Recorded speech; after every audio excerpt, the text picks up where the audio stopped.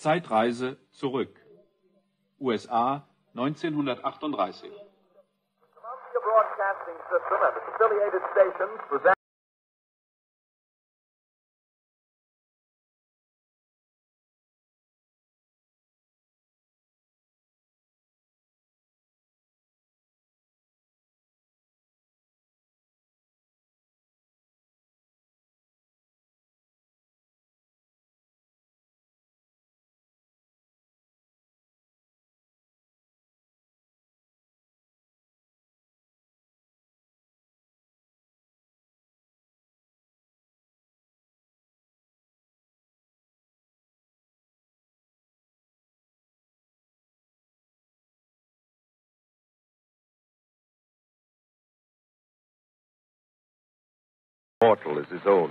Wir wissen heute, dass in den frühen Jahren des 20. Jahrhunderts diese Welt scharf beobachtet wurde von Intelligenzen, die größer sind als die des Menschen und doch ebenso sterblich wie sie.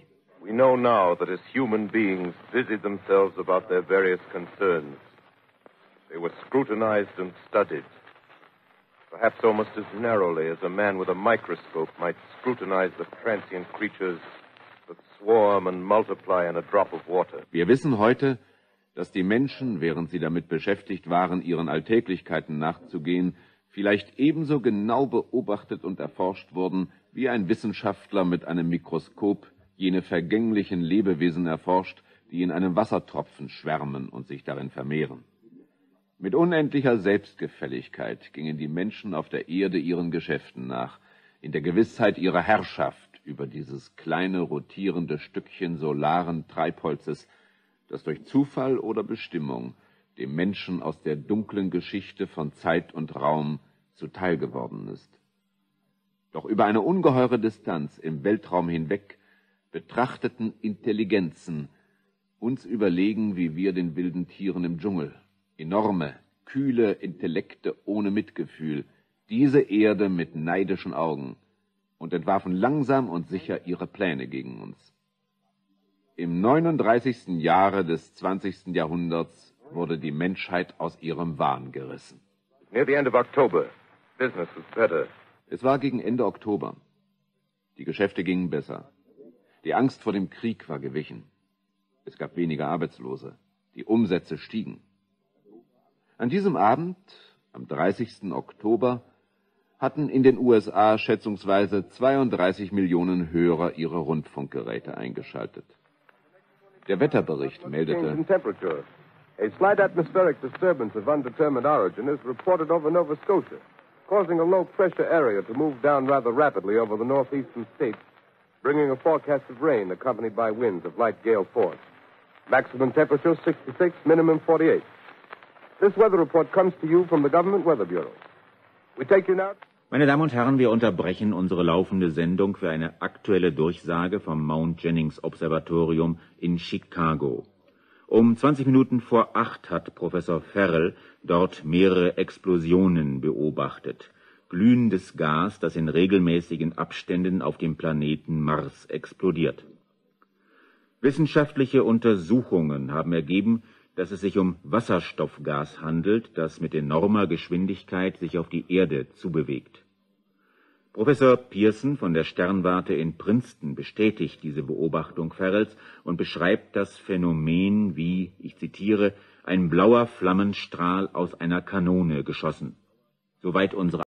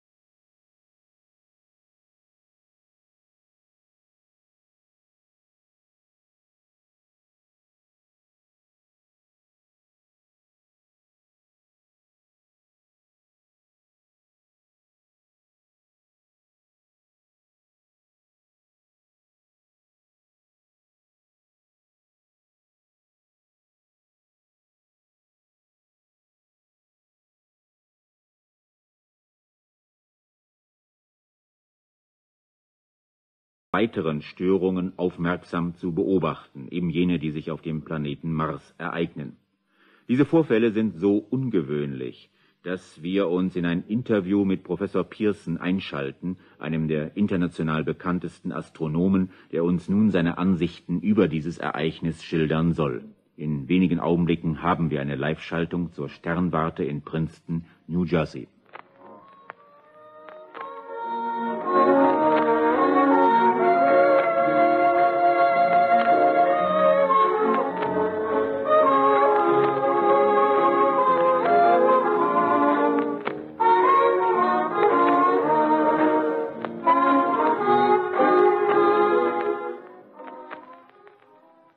Wir schalten nun um zur Sternwarte in Princeton, New Jersey, wo unser amerikanischer Kollege Carl Phillips Professor Richard Pearson interviewen wird. Good evening, ladies and gentlemen. This is Carl Phillips speaking to you from the observatory at Princeton. Guten Abend, meine Damen und Herren. Hier ist Carl Phillips. Ich spreche zu Ihnen aus der Sternwarte in Princeton. Ich stehe in einem großen, halbrunden Raum, pechschwarz bis auf eine rechteckige Öffnung in der Decke. Durch diese Öffnung sehe ich den funkelnden Sternenhimmel, der einen gelblichen Glanz über den komplizierten Mechanismus des riesigen Fernrohrs wirft. Das tickende Geräusch, das Sie hören, ist die Schwingung des Teleskops. Professor Pearson steht direkt über mir auf einer kleinen Plattform und späht durch das riesige Objektiv. Ich bitte Sie, etwas Geduld zu haben, falls während unseres Interviews eine Verzögerung eintreten sollte. Professor Pearson befindet sich zurzeit in ständigem Kontakt mit den anderen astronomischen Zentren der Welt. Professor, darf ich mit unseren Fragen beginnen? Jederzeit, Mr. Phillips. Professor, würden Sie bitte unseren Hörern erklären, was Sie sehen, während Sie den Planeten Mars beobachten? Nichts Ungewöhnliches im Augenblick, Mr. Phillips. Eine rote Scheibe, schwimmend in einem blauen Meer. Über die Scheibe verlaufen Querstreifen. Jetzt besonders deutlich, weil der Mars sich eben jetzt in größter Erdnähe befindet. In Opposition, wie wir es nennen. Was hat nach Ihrer Meinung diese Querstreifen zu bedeuten, Professor Pearson? Jedenfalls nicht Kanäle, Mr. Phillips, das Aha. kann ich Ihnen versichern. Obwohl das die populäre Meinung derjenigen ist, die sich einbilden, dass der Mars bewohnt sei. Vom wissenschaftlichen Standpunkt sind diese Streifen lediglich die Folge der besonderen atmosphärischen Bedingungen dieses Planeten. Dann sind Sie als Wissenschaftler davon überzeugt, dass lebende Intelligenzen, wie wir sie kennen, auf dem Mars nicht existieren. Ich würde sagen, die Chancen stehen tausend zu eins dagegen. Und doch, wie erklären Sie sich diese Gasexplosionen, die sich auf der Oberfläche des Planeten in regelmäßigen Abständen wiederholen? Tja, dafür habe ich keine Erklärung. Eine Zwischenfrage. Herr Professor, um unseren Hörern einen Anhaltspunkt zu geben, wie weit ist der Mars von der Erde entfernt? Ungefähr 55 Millionen Kilometer. Nun, diese Entfernung scheint sicher genug. Uh, Einen Augenblick, meine Damen und Herren. Jemand übergibt soeben Professor Pearson eine Nachricht. Während er sie liest, lassen Sie mich Ihnen nochmals sagen, dass wir zu Ihnen aus der Sternwarte in Princeton, New Jersey sprechen, wo wir den international bekannten Astronomen Professor Pearson interviewen. Einen Augenblick bitte. Professor Pearson reicht mir die Nachricht, die er soeben erhalten hat. Darf ich die Nachricht unseren Hörern vorlesen? Bitte, Mr. Phillips. Meine Damen und Herren, ich lese Ihnen ein Telegramm vor, adressiert an Professor Pearson von Dr. Gray vom Naturhistorischen Museum New York. Der Text 21.15 Uhr New Yorker Zeit registrierte Seismograph Erschütterung von nahezu Erdbebenstärke in Umkreis von 30 Kilometer um Princeton. Er bitte Nachforschung. Unterschrift Lloyd Gray, Leiter der astronomischen Abteilung. Professor Pearson, Professor Pearson, hat dieses Ereignis möglicherweise etwas zu tun mit den auf dem Mars beobachteten Vorgängen? Kaum, Mr. Phillips. Vermutlich nichts als ein Meteorit von ungewöhnlicher Größe und sein Einschlag gerade zu diesem Zeitpunkt ist lediglich ein Zufall. Wir werden jedoch genauere Nachforschungen anstellen, sobald das Tageslicht es erlaubt. Danke, Professor Pearson. Meine Damen und Herren, während der letzten zehn Minuten meldeten wir uns aus der Sternwarte von Princeton und brachten Ihnen ein Interview mit Professor Pearson. This is Carl Phillips speaking. We are returning you now to our New York studio.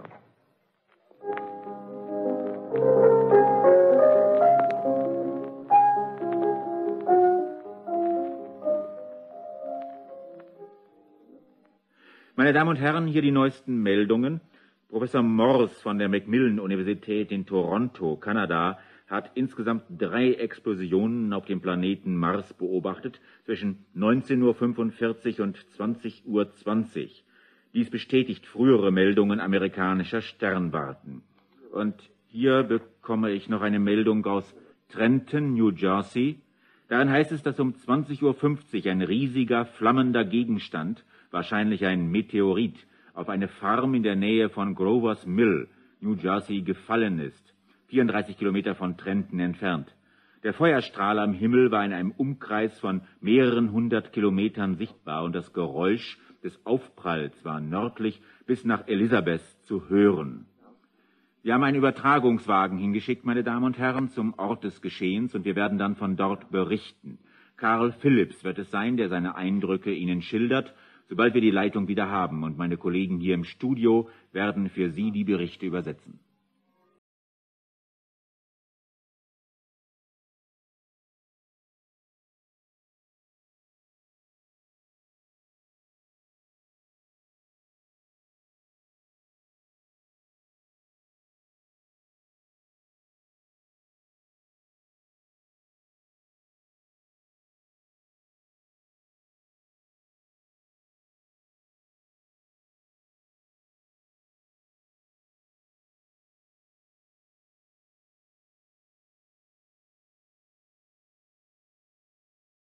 Wilmouth in Growers Mill, New Jersey.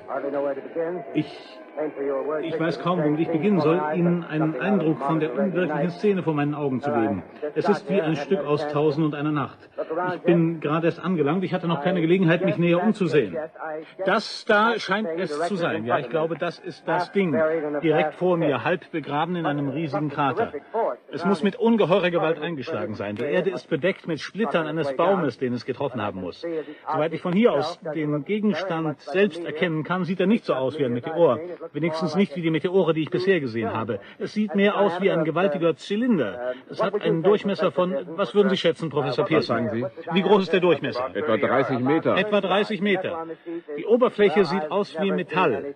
Ich habe so etwas noch nie gesehen. Die Farbe ist etwa gelblich-weiß. Neugierige Zuschauer drängen sich dicht heran, trotz der Anstrengungen der Polizei, sie zurückzuhalten. Sie verstellen mir die Sicht. Hier haben wir Mr. Wilmot, den Besitzer der Farm. Er kann uns sicher einige interessante Tatsachen berichten. Mr. Wilmot, würden Sie bitte unseren Hörern berichten, wie dieser ungewöhnliche Besucher in Ihren Garten gefallen ist? Bitte kommen Sie näher, Mr. Wilmot.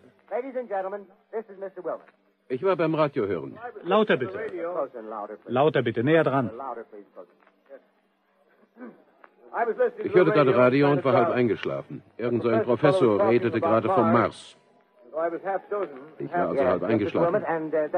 Ja, gut, Mr. Wilmot. Und was passierte dann? Wie gesagt, ich hörte Radio. Ich war halb eingeschlafen. Ja, Mr. Wilmot. Und dann haben Sie etwas gesehen. Zuerst nicht. Ich hörte etwas. Und was hörten Sie? Ein Zischen. So wie wenn ein Wasserhahn aufgedreht ist. Ja, und dann? Dann sah ich mich um und sah aus dem Fenster und wusste nicht, ob ich wach bin oder ob ich träume. Ich sah so was wie einen grünen Schein. Und dann schlug was auf die Erde. Ich hat's glatt vom Stuhl gehauen. Nun, und waren Sie sehr erschrocken? Tja, das kann ich nicht sagen.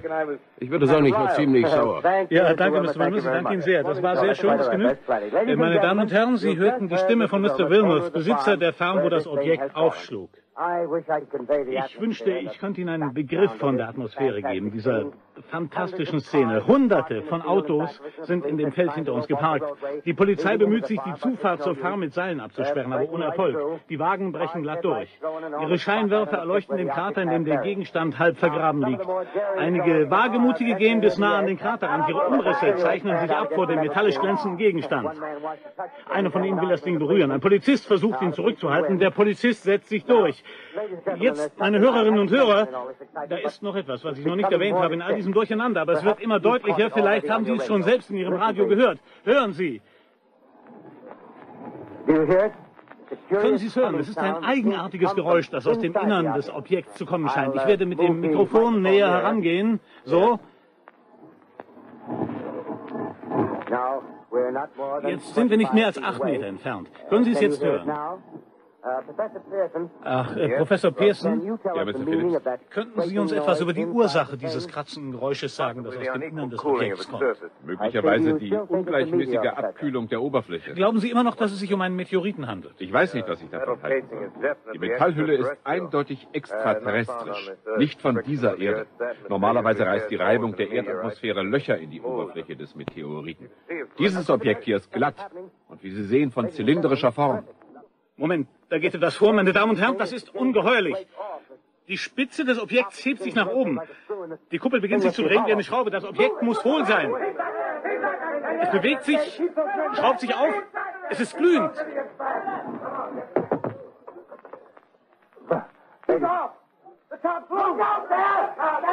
Meine Damen und Herren, das ist das Unheimlichste. Das Unheimlichste, was ich jemals gesehen habe. Was ist das?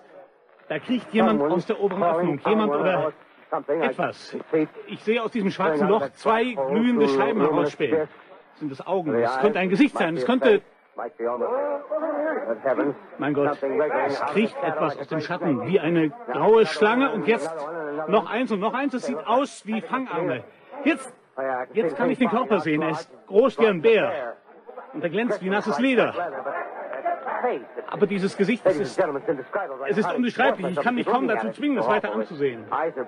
Die Augen, die Augen sind schwarz und glitzern wie bei einer Schlange. Der Mund, das Maul ist V-förmig und Speichel tropft von den randlosen Lippen, die zittern und pulsieren.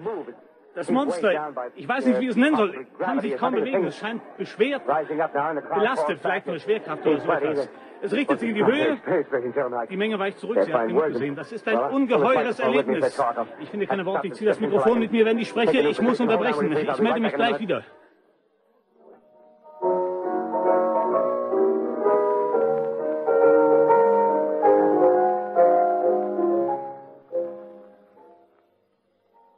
Meine Damen und Herren, wir bringen Ihnen einen Augenzeugenbericht von den Vorgängen in New Jersey, USA, auf der Farm Wilmes Grovers Mill.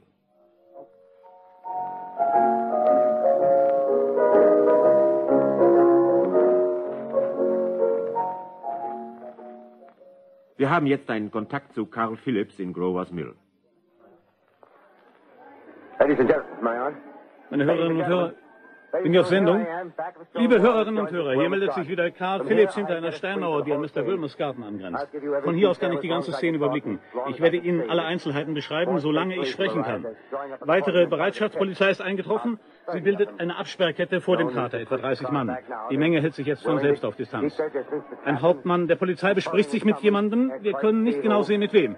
Oh ja, ich glaube, Professor Pearson. Ja, er ist es. Jetzt trennen sie sich. Der Professor geht seitlich um das Objekt herum und betrachtet es, während der Hauptmann und zwei Polizisten, die etwas in der Hand halten, auf das Objekt zugehen. Jetzt kann ich es erkennen, es ist ein weißes Tuch an einer Stange. Ein Zeichen des Waffenstillstands des Friedens. Hoffentlich wissen diese Wesen, was das bedeutet. Moment, da geht etwas vor.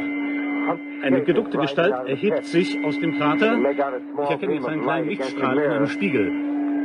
Was ist das? Eine Stichflamme springt aus dem Spiegel. Sie springt direkt auf die vorrückenden Männer zu. Sie hat sie voll getroffen. Mein Gott, sie gehen in Flammen auf. Jetzt hat das ganze Feld Feuer gefangen. Gewalt, die Scheunen, die Benzintanks der Autos, Feuer breitet sich überall aus. Es kommt in diese Richtung. Es kommt auf uns zu. Etwa 20 Meter rechts. Meine Damen und Herren, Aufgrund unvorhergesehener Umstände sind wir leider nicht in der Lage, die Sendung aus Grovers Mill fortzusetzen. Die Verbindung ist zurzeit unterbrochen. Wir werden jedoch versuchen, so schnell wie möglich wieder dorthin zurückzuschalten. Inzwischen haben wir eine neue Meldung aus San Diego, Kalifornien. Dort hat Professor Indelkoffer auf einem Kongress der Kalifornischen Astronomischen Gesellschaft eine Rede gehalten. Er hat darin gesagt, er sei überzeugt, dass die Explosionen auf dem Mars unzweifelhaft nicht mehr seien als starke vulkanische Störungen an der Oberfläche des Planeten. Bis zum Eintreffen neuer Nachrichten setzen wir unser Programm fort mit Musik.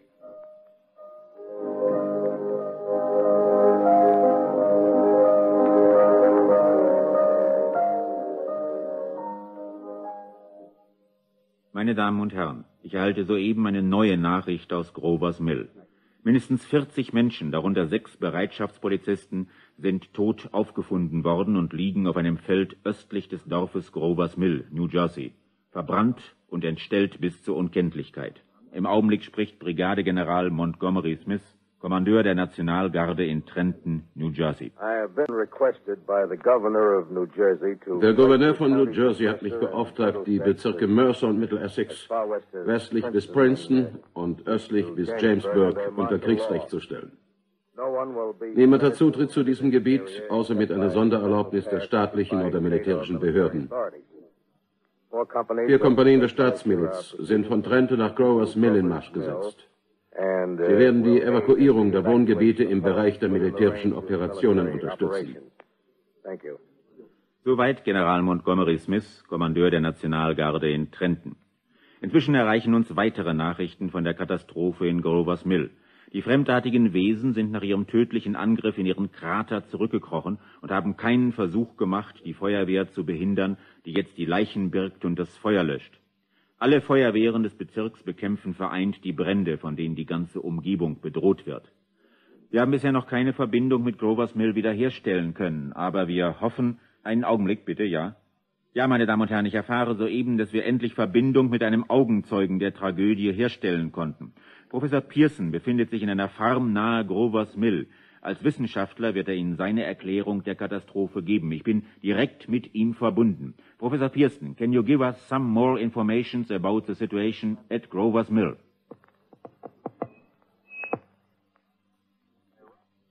Of the creatures in the rocket cylinder at Grover's Mill, über die Lebewesen in dem Raketenzylinder in Grovers Mill kann ich Ihnen keine verbindliche Information geben weder über ihre Natur noch über ihre Herkunft, noch über ihr Vorhaben hier auf der Erde.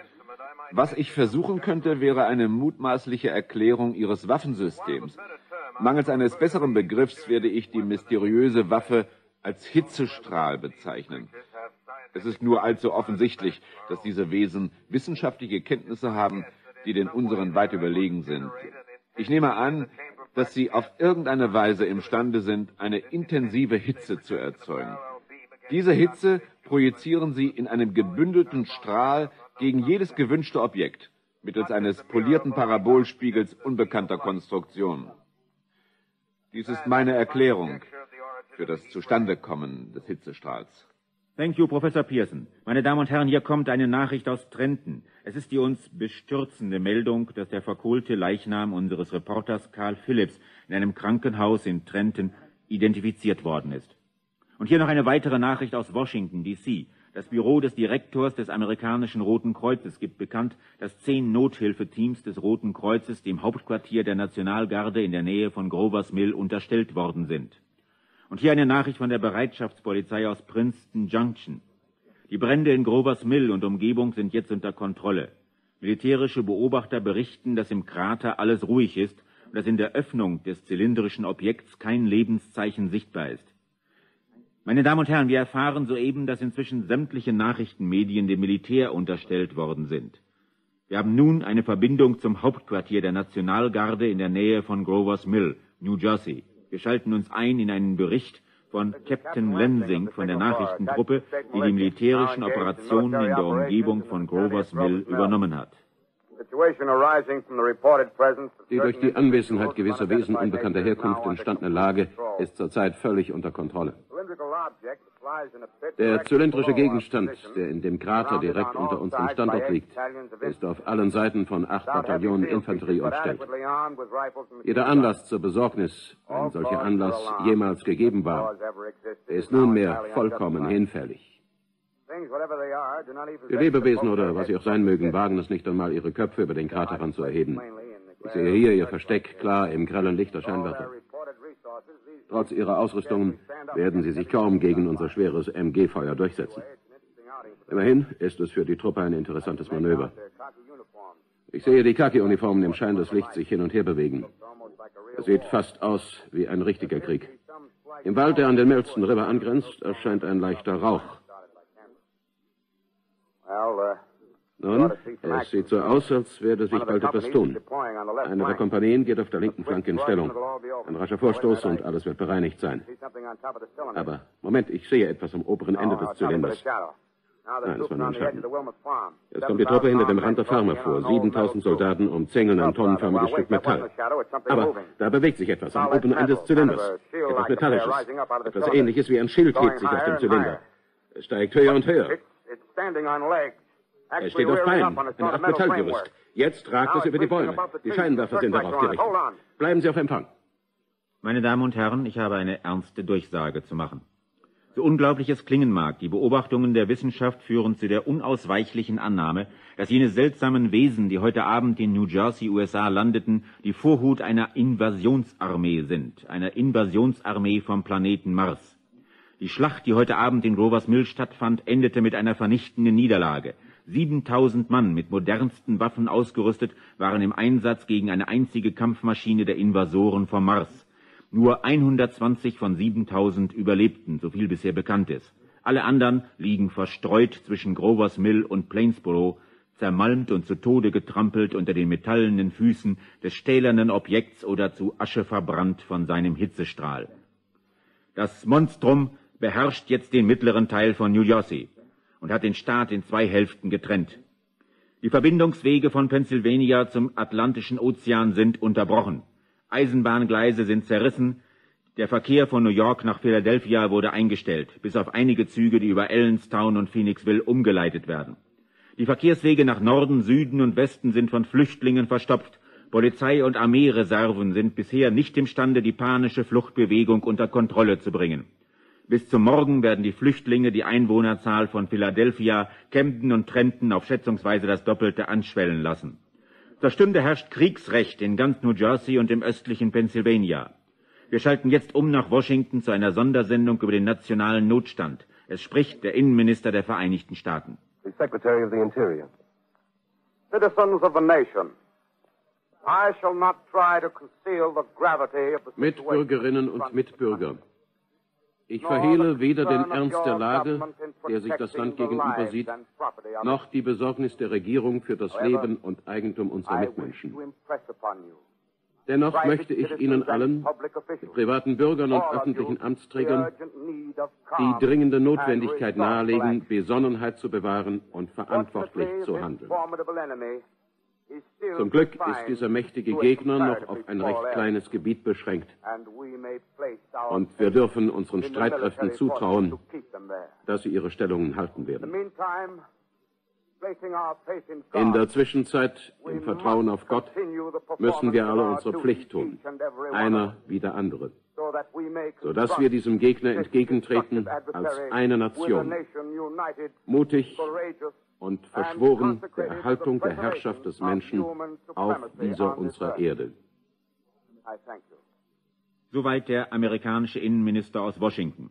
Inzwischen liegen bei uns hier im Studio so viele Nachrichten vor, dass wir sie nicht alle verlesen können.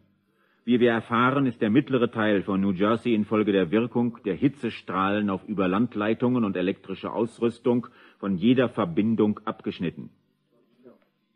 Hier eine Meldung aus New York. Telegramme von englischen, französischen und deutschen wissenschaftlichen Gremien bieten Hilfe an. Die Wissenschaftler melden fortdauernde Gasexplosionen in regelmäßigen Abständen auf dem Planeten Mars. Die meisten meinen, dass der Gegner durch weitere Raketenmaschinen verstärkt wird. Versuche sind im Gange, Professor Pearson aus Princeton zu finden, der die Marswesen aus der Nähe beobachten konnte.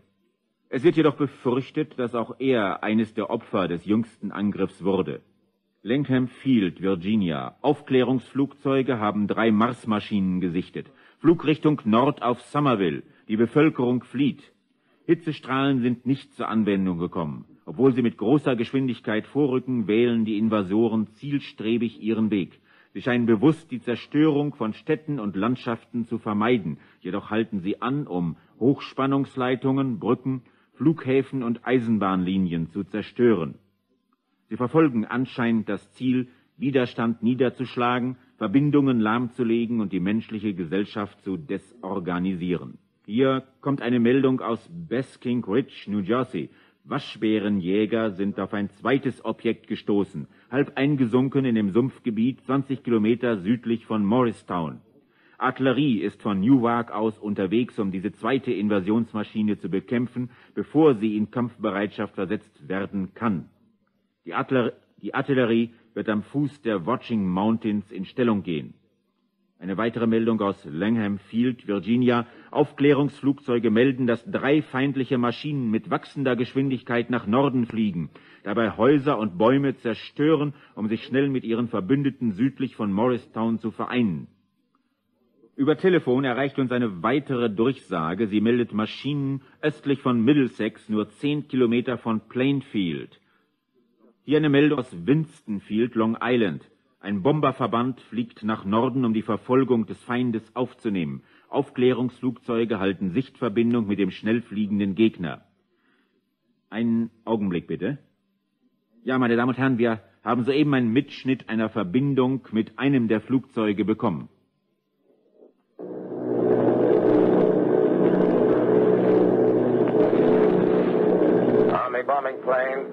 Bomber V843 über Bayonne, New Jersey.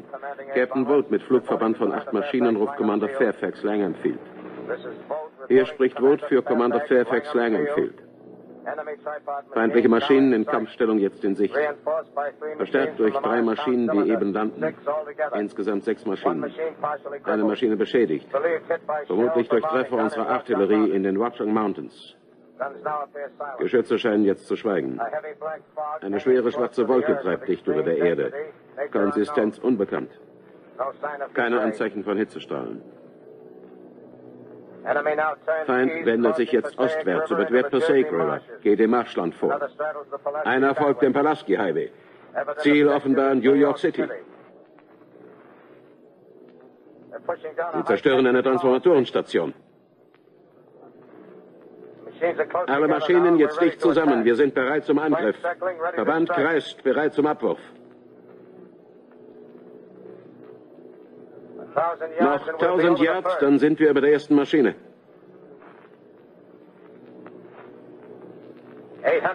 800 Yards.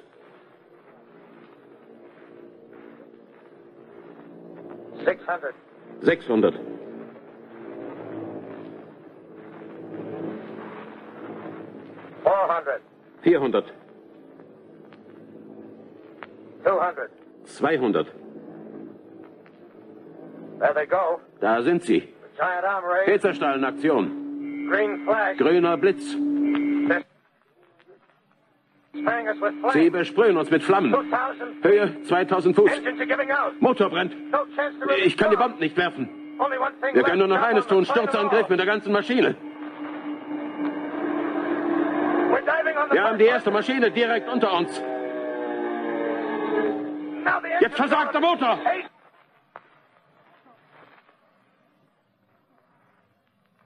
This is Bayonne, New Jersey, calling Langham Field. This is Bayonne, New Jersey, calling Langham Field. Come in, please. Langham Field, go ahead. Eight Army bombers in engagement with enemy tripod machines over Jersey Flats. Engines incapacitated by heat ray. All crashed. One enemy machine destroyed. Enemy now discharging heavy black smoke in direction of. This is Newark, New Jersey. This is Newark, New Jersey. Warning. Poisonous black smoke pouring in from Jersey marshes. Reaches South Street. Gas masks useless. Urge population to move into open spaces. Automobiles use routes 7, 23, 24. Avoid congested areas. Smoke now spreading over, over Raymond Boulevard.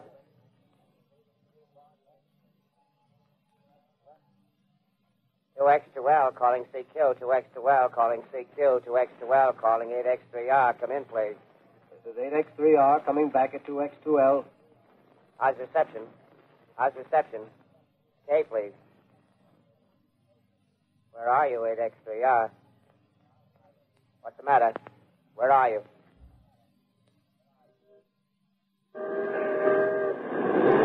I'm speaking from the roof of Broadcasting Building. I'm speaking from the roof of Broadcasting Building, New York City. The bells you hear are ringing to warn the people to evacuate the vom city Dach des Funkhauses. Martians approach. Ich spreche vom Dach des Funkhauses New York City. Die Glocken, die Sie hören, läuten, um die Menschen zu warnen. Sie sollen die Stadt verlassen. Die Marsmenschen nähern sich. Ich schätze, drei Millionen Menschen haben in den letzten zwei Stunden auf den Straßen nach Norden die Stadt schon verlassen. Der Hutchinson River Parkway ist noch für den Kraftverkehr geöffnet. Aber vermeiden Sie die Brücken nach Long Island. Sie sind hoffnungslos verstopft. Jede Verbindung mit dem Jersey-Ufer ist vor zehn Minuten gesperrt worden. Es gibt keine Verteidigungslinien mehr. Unsere. Armee ist vernichtet, die Artillerie, die Luftwaffe, alles vernichtet. Ich denke, dies wird wohl die letzte Sendung sein. Wir werden hier ausharren bis zum Ende. Unter uns sind die Menschen beim harbor, Gottesdienst in der Kathedrale. Ich sehe zum Hafen hinunter. Alle möglichen Schiffe und Boote sind überladen mit flüchtenden Menschen. Sie fahren aus den Docks. Die Straßen sind längst verstopft. Es ist ein Lärm in der Menschenmenge, wie zum Silvesterabend. Moment. Da, da, der Feind, der Feind ist jetzt in Sicht über den Klippen am anderen Ufer des Hudson. Fünf große Maschinen. Die erste überquert jetzt den Fluss. Ich kann sie von hier aus sehen, wie sie den Hudson durchwartet. Wie ein Mensch einen Bach. Ich bekomme hier noch eine Meldung. Objekte vom Mars überfallen das ganze Land. Eines am Rande von Buffalo, eines in Chicago, St. Louis. Sie scheinen zeitlich und räumlich abgestimmt. Jetzt erreicht das erste Objekt das diesseitige Ufer. Er steht da und beobachtet. Sein stählerner Kopf ragt so hoch wie ein Wolkenkratzer. Es wartet auf die anderen. Da erheben sie sich wie eine Reihe, wie eine Reihe neuer Türme auf der Westseite der Stadt. Jetzt heben sie ihre metallenen Hände. Das ist jetzt das Ende. Rauch quillt hervor, schwarzer Rauch, der über die Stadt treibt. Jetzt sehen es die Menschen auf den Straßen. Sie laufen in Richtung East River. Tausende Menschen. Sie fallen hinein wie die Ratten. Jetzt verbreitet der Rauch sich schneller. Er hat Times Square erreicht. Die Menschen versuchen wegzulaufen, aber es nützt nichts. Sie fallen wie die Fliegen. Jetzt überquert der Rauch die Sixth Avenue. Die Fifth Avenue. Noch 100 Jahre. Noch 50 Fuß.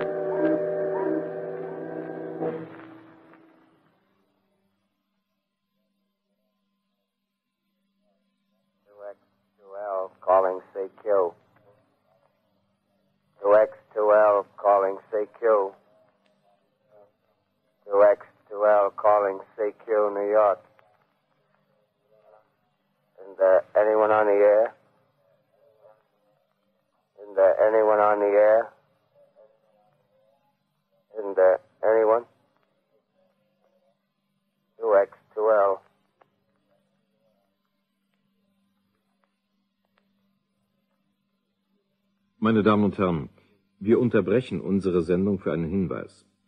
Wir möchten Sie darauf aufmerksam machen, dass wir uns auf einer Zeitreise zurück ins Jahr 1938 befinden.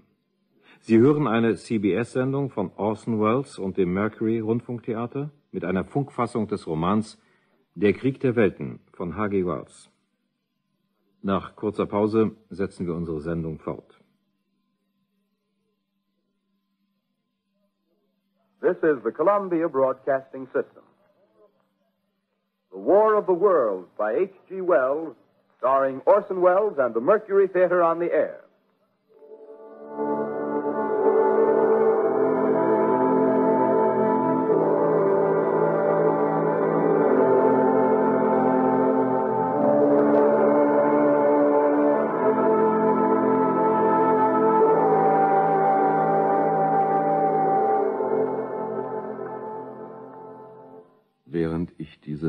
Notizen zu Papier bringe, verfolgte mich der Gedanke, dass ich der letzte Lebende auf der Erde sein könnte. Ich habe mich in diesem leeren Haus in der Nähe von Grovers Mill verborgen, durch den schwarzen Rauch abgeschnitten von dem Rest der Welt. Alles, was vor dem Eintritt dieser stählernen Objekte in die Welt geschah, scheint jetzt Teil eines anderen Lebens. Eines Lebens, das keinen Zusammenhang mit der Gegenwart hat, mit diesem heimlichen Vegetieren eines Einsamen und Verlassenen, der diese Worte mit Bleistift auf die Rückseite irgendwelcher astronomischer Notizen kritzelt, die unterzeichnet sind. Richard Pearson. Ich blicke auf meine verrußten Hände, ich versuche, sie mit einem Professor in Verbindung zu bringen, der in Princeton lebte und der in der Nacht des 20. Oktober durch sein Fernrohr einen orangefarbenen Lichtfleck auf einem fernen Planeten wahrnahm. Meine Frau, meine Kollegen, meine Studenten, meine Bücher, meine Sternwarte, meine Welt. Wo sind sie? Haben sie je existiert? Bin ich noch Richard Pearson? Welcher Tag ist heute? Gibt es noch Tage ohne Kalender? Verstreicht die Zeit auch, wenn kein Mensch mehr da ist, um die Uhr aufzuziehen? Indem ich mein Leben niederschreibe, sage ich mir, werde ich zwischen den dunklen Einbanddecken dieses kleinen Buchs, das die Bewegungen der Sterne enthalten sollte, die menschliche Geschichte aufbewahren. Aber um zu schreiben, muss ich leben, und um zu leben, muss ich essen. Ich finde schimmliges Brot in der Küche und eine Apfelsine, die noch nicht ganz verdorben ist. Ich halte Wache am Fenster. Von Zeit zu Zeit erblicke ich einen Marsmenschen durch den schwarzen Rauch. Noch verdeckt der Rauch das Haus in einer schwarzen Wolke, aber dann ist da ein zischendes Geräusch. Und plötzlich sehe ich einen Marsmenschen auf seiner Maschine, der die Luft mit einem Dampfstrahl besprüht, um den Rauch aufzulösen. Ich spähe ihm nach, in eine Ecke gedrückt, während seine unförmigen Metallstelzen fast das Haus berühren. Erschöpft von der Aufregung schlafe ich ein. Es ist morgen. Morgen. Die Sonne strömt durchs Fenster. Die schwarze Gaswolke hat sich gehoben, und die versenkten Wiesen im Norden sehen aus, als sei ein schwarzer Schneesturm über sie hinweggefegt. Ich wage mich aus dem Haus. Ich finde die nächste Landstraße. Keinerlei Verkehr. Hier und da ein zerstörtes Automobil, verstreutes Gepäck, ein verkohltes Skelett. Ich wandere weiter nach Norden. Ich weiß nicht warum, aber ich fühle mich sicher, solange ich in diesem Sumpfland marschiere. Und ich halte sorgfältig Ausschau. Ich habe gesehen, wie sich die Marsmenschen ernähren. Wenn eine von ihren Maschinen über den Bäumen auftaucht, werde ich mich flach auf den Boden werfen. Ich komme zu einem Kastanienbaum. Oktober. Die Kastanien sind reif. Ich fülle mir die Taschen, ich muss leben. Zwei Tage lang wandere ich in ungefähr nördlicher Richtung durch eine trostlose Landschaft. Endlich bemerke ich ein lebendes Wesen. Ein kleines rotes Eichhörnchen in einer Buche. Ich starre es an und wundere mich. Es starrt mich auch an. Ich glaube, in diesem Augenblick haben das Tier und ich das gleiche Gefühl, die Freude, ein anderes lebendes Wesen zu finden.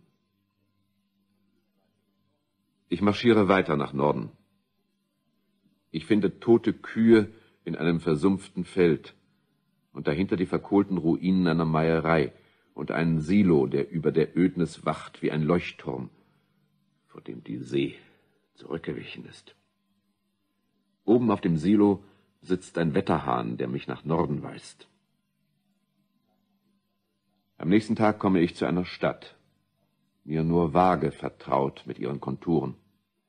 Doch sind die Gebäude seltsam zwergenhaft und eingeebnet, als habe ein Riese ihre höchsten Türme mit einer spielerischen Handbewegung umgestürzt. Ich erreiche die Vororte. Ich finde Nuak. Nuak. Gedemütigt, aber unzerstört. Aus irgendeiner Laune der vorrückenden Marsmenschen. Gleich darauf, mit dem sonderbaren Gefühl beobachtet zu werden, fällt mein Blick auf etwas, das in einem Hauseingang kauert. Ich mache einen Schritt darauf zu, und es erhebt sich und wird ein Mensch. Ein Mann. Bewaffnet mit einem großen Messer. Halt! Wo kommen Sie her? Ich komme von vielen Orten. Vor langer Zeit von Princeton. Princeton, hm? Das ist bei Growers Mill. Ja? Growers Mill. Hier gibt's nichts zu essen. Das ist hier mein Gebiet. Das Essen reicht nur für einen. Wo wollen Sie hin? Ich weiß nicht. Ich suche nach Menschen. Was war das? Haben Sie nichts gehört? Nein. Nur ein Vogel. Ein lebender Vogel. Man muss auf der Hut sein heutzutage. Hören Sie, wir stehen hier zu sehr im Freien. Hier, im Hauseingang, da können wir reden. Haben Sie Marsmenschen gesehen? Die sind weg nach New York. Bei Nacht ist der Himmel hell von ihren Lichtern. Gerade so, als ob noch Menschen dort wohnten.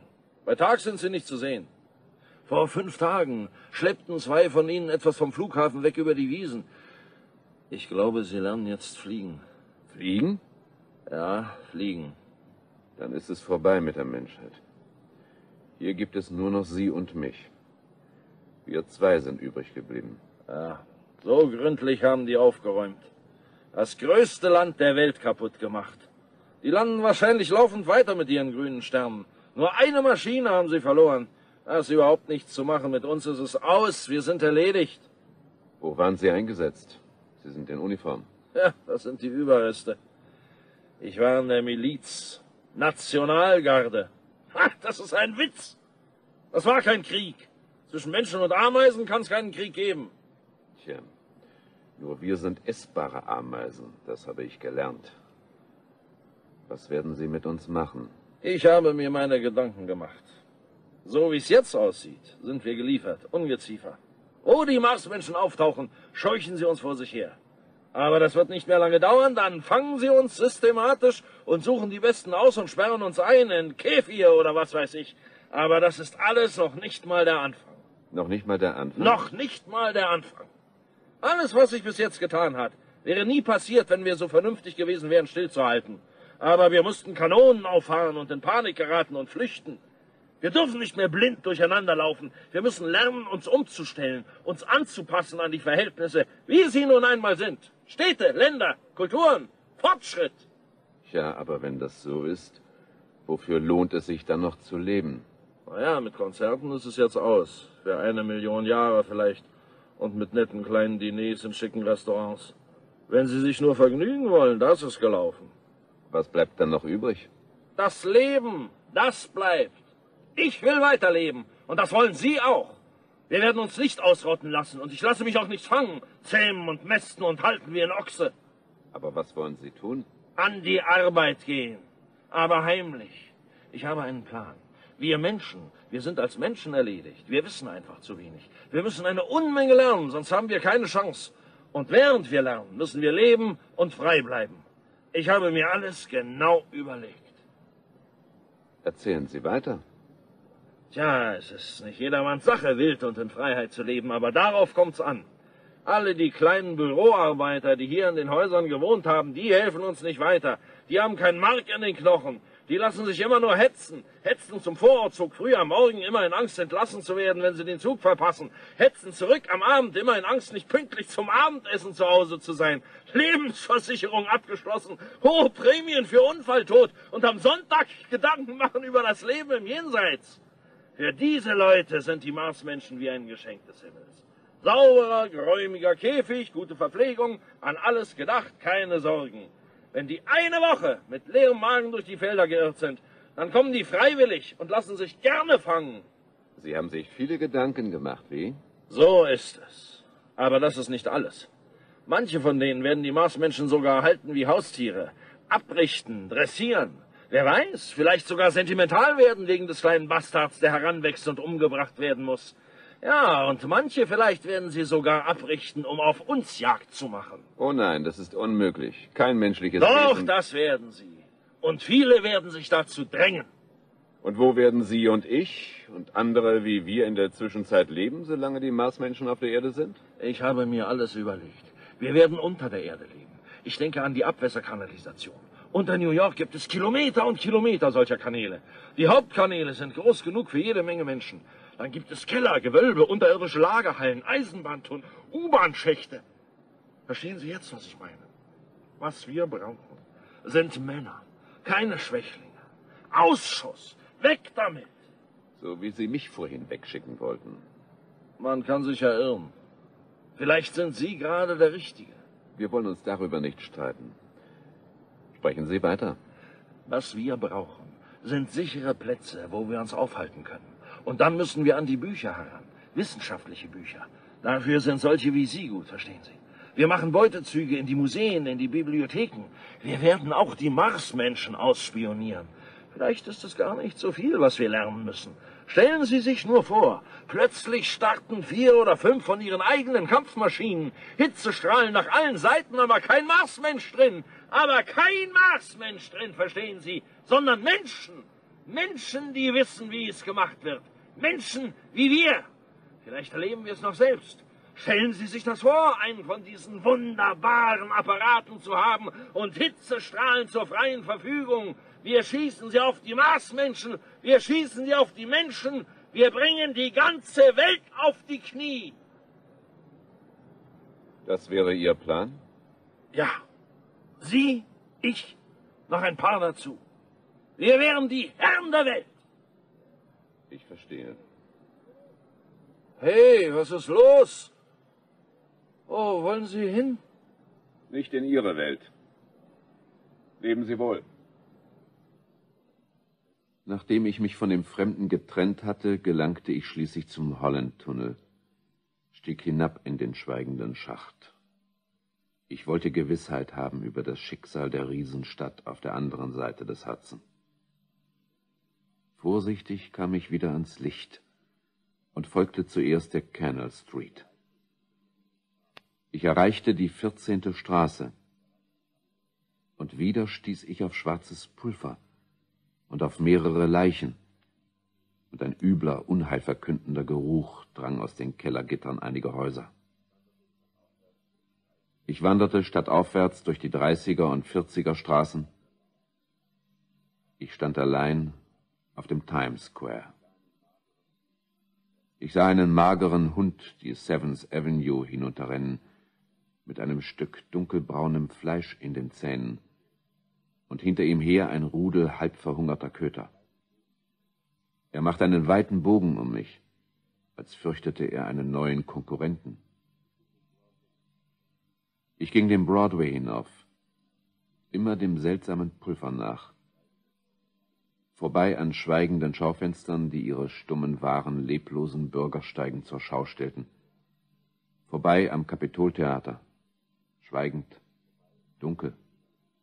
Vorbei an einer Schießgalerie, wo eine Reihe leerer Gewehre einer unbeweglichen Front hölzerner Enten gegenüberlagen. Am Columbus Circle fiel mein Blick auf 39er Automodelle in den Schauhallen vor leeren Straßen. Hoch oben über dem General Motors Gebäude beobachtete ich eine Schar schwarzer Vögel, die am Himmel kreisten. Ich eilte weiter. Plötzlich erblickte ich die Kuppel einer Marsmaschine, die irgendwo im Central Park stand, gleißend in der Sonne des Spätnachmittags. Ein wahnwitziger Gedanke stieg in mir auf. Ich eilte, ohne zu überlegen, quer über den Columbus Circle und in den Park hinein. Ich erstieg einen kleinen Hügel über dem Teich in Höhe der 60. Straße. Von dort aus sah ich, in einer schweigenden Reihe längs der Hauptallee stehend, neunzehn der großen Metalltitanen, die Kuppeln leer, ihre stählernen Arme kraftlos an ihren Seiten hängend. Vergeblich hielt ich Ausschau nach den Monstern, die diese Maschinen bewohnt hatten. Plötzlich wurden meine Augen angezogen von der gewaltigen Schar schwarzer Vögel, die direkt vor mir in der Luft hingen. Sie kreisten zur Erde, und da vor meinen Augen, steif und stumm, lagen die Marsmenschen. Und die hungrigen Vögel pickten und rissen braune Fleischfetzen aus ihren toten Körpern. Später, Als die Kadaver in Laboratorien untersucht wurden, stellte es sich heraus, dass sie den Fäulnis- und Krankheitsbakterien zum Opfer gefallen waren, gegen die ihre Körper unvorbereitet waren.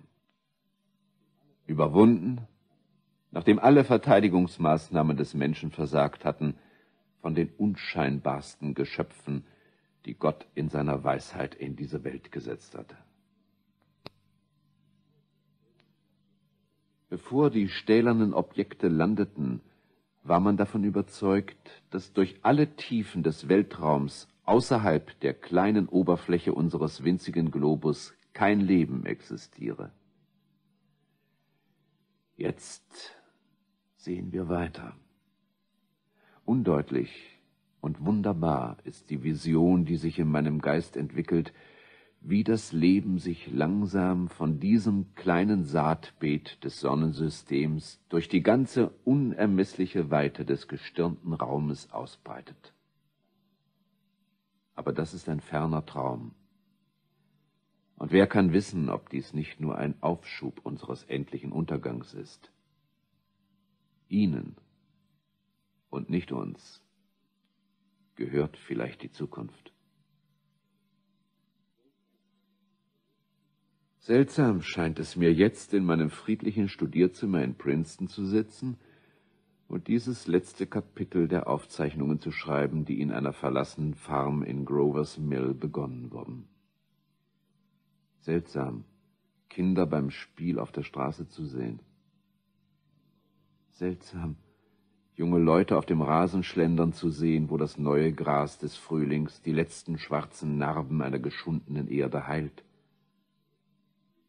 Seltsam, die Touristen zu sehen, wie sie in das Museum gehen, wo die zerlegten Teile einer Marsmaschine öffentlich ausgestellt sind.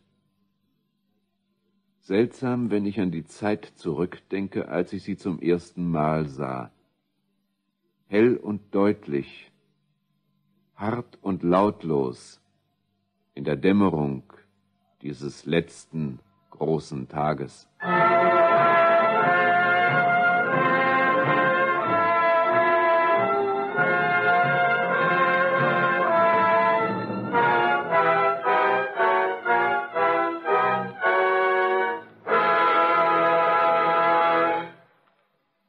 This is Orson Welles, ladies and gentlemen. Out of character, to assure you that the War of the Worlds has no further significance than as the holiday offering it was intended to be. Hier spricht Orson Welles, liebe Hörerinnen und Hörer, und jetzt nicht in seiner Rolle, sondern um Ihnen zu versichern, dass der Krieg der Welten nicht stattgefunden hat. Wir vernichteten die Welt vor Ihren Ohren und zerstörten das Columbia Broadcasting System bis auf den Grund. Sie werden erleichtert sein, hoffe ich, zu erfahren, dass wir es nicht so ernst gemeint haben und dass beide Einrichtungen noch in Betrieb sind. Und wenn jetzt Ihre Türklingel läutet und es steht niemand draußen, dann war das gewiss kein Marsmensch, sondern der Junge von nebenan. So goodbye, everybody, and remember, please, for the next day or so, the terrible lesson you learned tonight. That grinning, glowing, globular invader of your living room is an inhabitant of the pumpkin patch, and if your doorbell rings and nobody's there, that was no Martian. It's Halloween.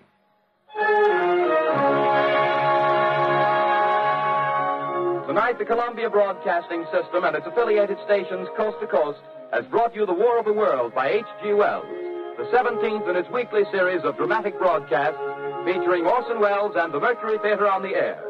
Next week, we present a dramatization of three famous short stories. This is the Columbia Broadcasting System.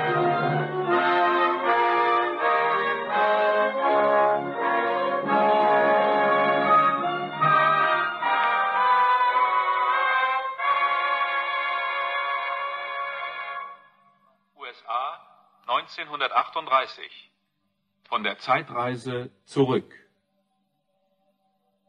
Wer